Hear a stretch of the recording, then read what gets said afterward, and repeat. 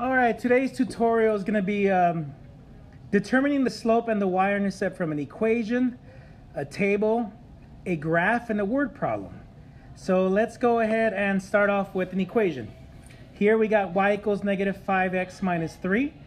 And you guys got to remember that the, uh, the generic form of the equation is y equals mx plus b. m is your slope, and b is your y-intercept. So all you do is you look at the equation the, uh, the slope is going to be the coefficient of your x variable, which is negative 5 here. And, um, and then the uh, y-intercept is the constant, which is negative 3.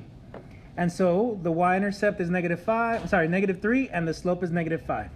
Let's look at example number 2. y equals 3x minus 5. The slope, what's the answer going to be? Well, it's going to be 3. And what's the y-intercept? Negative 5. And we kind of already learned that, so that's pretty, pretty basic. Let's move on to a table. Now, we've already learned how to figure out the slope from a table. Actually, we in a way, but we've learned the rate of change. And so the rate of change from a table is going to be the same thing as the slope. And so let's figure out the slope, which is the change in y over the change in x. And so since 27 is getting bigger, it becomes positive and becomes positive 36. We're adding 36 as we go across. And once again, we're adding 36, and we're adding 36. So our change in y is going to be positive 36. Now let's figure out our change in x. Our numbers are getting bigger by 4 each time, so as you can see, we're adding 4 each time, so our rate of change is going to be positive 4. And so we're going to go ahead and divide 36 by 4, which positive divided by positive is a positive, and 36 divided by 4 is 4. I'm sorry, I made a mistake. It is 9.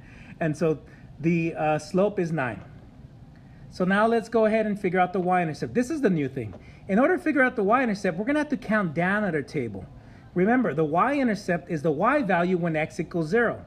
So if we look at our table, we got to count down when we get to 0. And so we are adding 4 to go the opposite way. To go backwards, we're going to have to subtract 4. And so 4 minus 4 will give us 0. And that's the value that we're looking for when it comes to the y value when x equals 0. So now we're going to go to the y values, and instead of adding 36, we're going to subtract 36. And that's going to give us the value of y when x equals 0. And so 27 minus 36 is negative 9. So our y-intercept, which is called the initial value or the starting point, is going to be negative 9. All right, let me go ahead and erase these so we can do the next problem. All right, Again, let's figure out the slope. What's going to be the change in y over the change in x. And as we're going on the y's, as we're moving to the right on the table, the values are getting smaller. So our um, rate of change is going to be negative.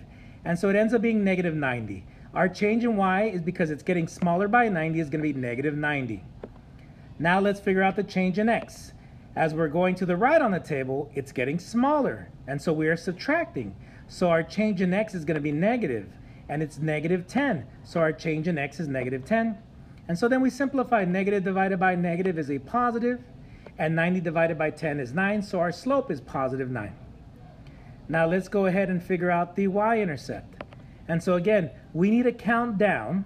In this case, actually, we're counting up, if you really think about it, to where the value of x equals 0. And since we're adding, I'm sorry, since we're subtracting 10 when we go to the right, we're going to have to add 10. And when we add 10 to negative 20, we end up with negative 10. So we got to actually go one more time. And when we add 10 to negative 10, that's where we end up with 0. So we got to figure out the x, I'm sorry, the y value when x equals 0. So on the y value, we're going to have to move over two times on the table. Now, instead of subtracting 90 to the right, we're going to add 92 times. And so negative 173 plus 90 is negative 83 and negative 83 plus 90 is positive 7, so our y-intercept is positive 7. Now we're going to do a couple more of these problems in class.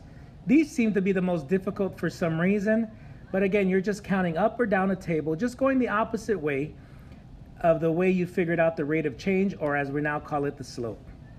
Now the last thing we have to do is figure out the slope and the y-intercept from a graph. Now, my graph is a little messed up, so I apologize ahead of time. So let's figure out the, the y-intercept. And the y-intercept is going to be up there. And let's imagine, let's pretend that, yeah, that's on the graph. And so the approximate value of that would be positive 9. And so our y-intercept is positive 9. So now we need to figure out the slope. The slope is the right, you know, what is slope? What is slope? Rise over run. And so we make our slope triangles. So I pick two points. Um, I'm going to go up and then to the right, so it's going to be positive. So let's count how much.